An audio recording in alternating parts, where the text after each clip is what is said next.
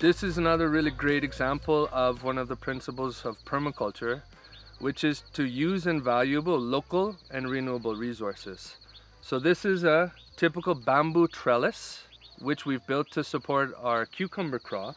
And the reason why we use something like bamboo instead of something more permanent like metal or concrete or plastic is that the bamboo can serve multi-functions, not only for us, but for the greater ecosystem that we're living in. So the bamboo, for example, before it came here and became a material for building a trellis, it was a plant that was growing which was uh, capturing carbon from the air, for example. It was providing habitat spaces for wild animals. It was conserving moisture in the soil. It was conserving our soil, stopping soil erosion. And then after we cut and used it, it's now functioning as a construction material, as support for a cucumber crop. And now after it's done here, once its life is finished as support for our cucumber, it will turn into wood for our fire stove, an energy source.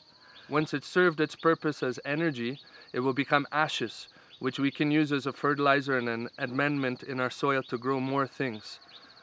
So when we start to use all of those, take advantage of all the different functions that bamboo can serve, all the benefits that bamboo can give us and the greater environment, then we're really improving the efficiency of our farms.